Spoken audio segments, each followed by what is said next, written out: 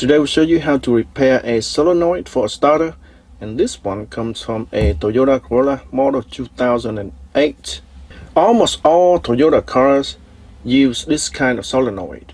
I've seen some other people repair solenoid from other cars but they are different models and they are easy to remove in which you just have to remove a couple screws and you can pull this assembly out. This one is different. It is crimped onto the plastic by the uh, metal case here and uh, you cannot remove it out and it is supposedly non-serviceable or is it? So what I did is I used my angle grinder and cut out the part where it's crimped. I also cut it out right here right here and right here. So now I can easily just pry it out like that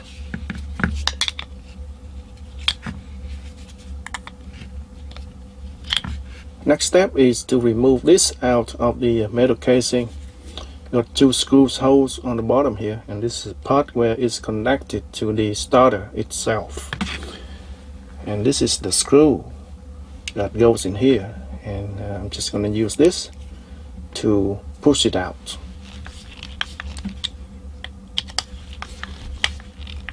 A little bit at a time on each side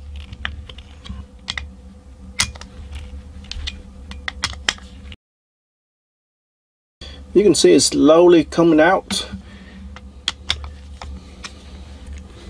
And it's so light now I can screw it with my fingers Let's see it'll come out. There we go. We got another piece of metal that comes from the bottom up. And then this is welded to that piece of metal. So we're gonna have to pry it off before we can remove the top cover.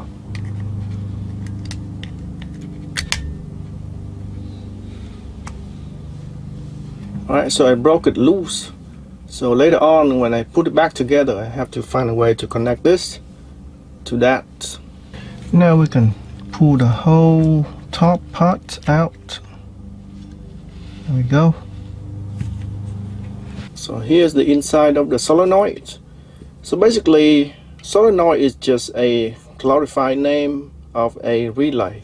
And the way this works is that when you turn on the ignition, uh, it will connect to this terminal here and it will energize the coil and that will create a magnetic field and that will push down on this uh, copper contact here and it will contact the two copper terminal together and these two will be connected together and that will be connected to the starter next to it and that will turn on the starter. You can see over time this contact is worn out. And you look at the other side of the contact it's all brand new and it's clean. So what I can do is I can just flip this over and uh, I can use the uh, the other side which is brand new to make a new contact for this piece of copper here. This metal contact is held together by this metal ring here. So um, I have to find a way to pry that off. So what you do is you just push it down. With one hand. And use a plier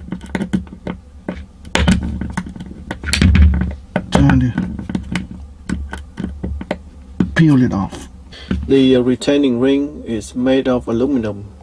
Therefore it's, it's pretty easy to break off I use a clamp and just clamp it down on uh, both sides. And then eventually it'll be weak enough. So now we can just peel it off. Came out just like that now we can remove this whole assembly out. So here it is completely worn on one side and brand new on the other side.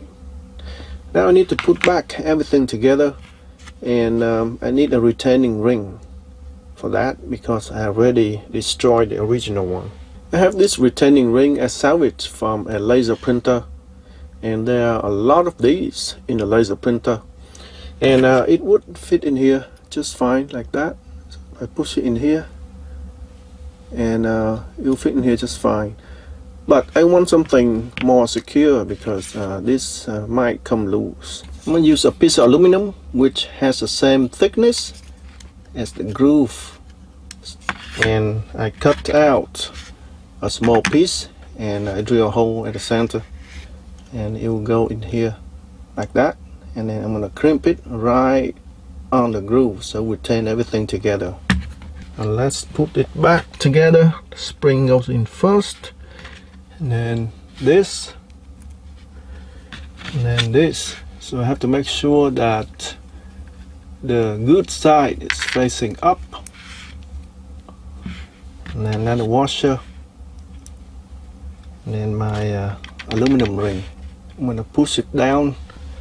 And uh, at the same time put in the aluminum ring.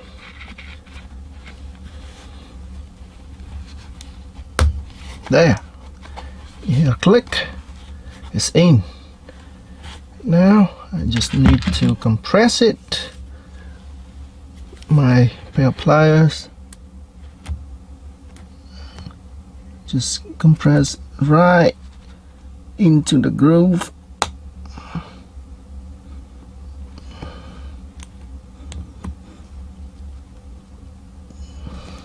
there here we go.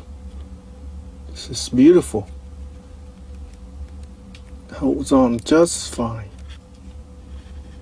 Next step is to turn these contacts around and you can see it's only worn on one half of the circle. The other half is still brand new. Same here on this side. And on the other side we have a washer. It's actually a nut to hold this contact together I already turned it a little bit a few rounds. You can see it's a little bit loose now. So I just have to uh, turn it and uh, remove this washer.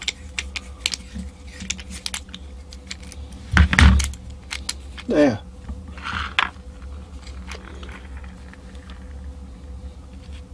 Now I can turn it around 180 degrees and uh, put this right back.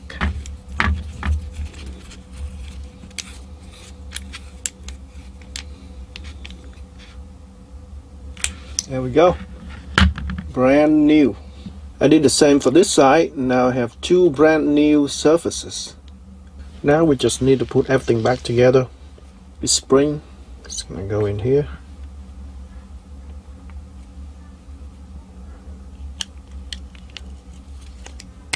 Just like that. Now we put this back in.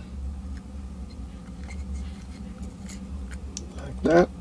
Alright, it's time to put it back on because I already cut out part of the case now I don't have a way to uh, crimp it onto the plastic so I drill some holes on the metal case and I also drill holes on the plastic and uh, I tap it to make some threads now I can use a screw to uh, secure everything together.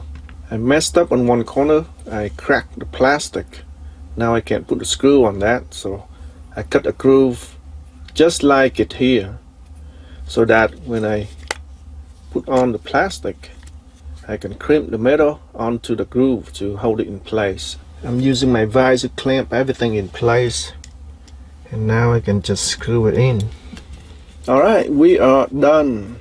I got a screw mounted here one screw mounted here I crimped the case here and here. And it's pretty tight. It's not going anywhere. This connection here I have to solder because uh, I don't have spot welder.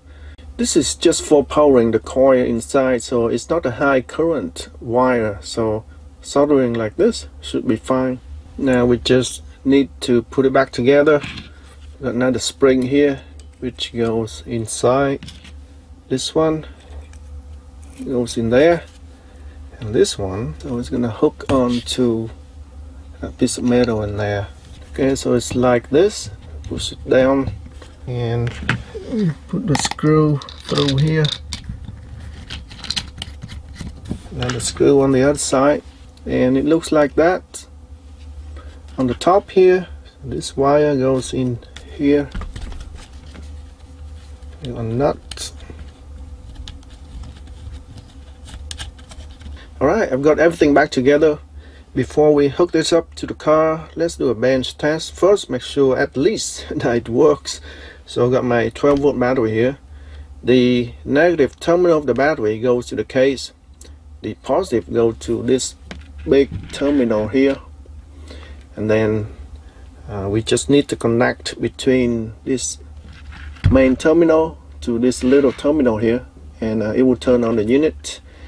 And I have my two yellow wires here. So if I touch the two yellow wires it will turn on. You ready? It's gonna spark.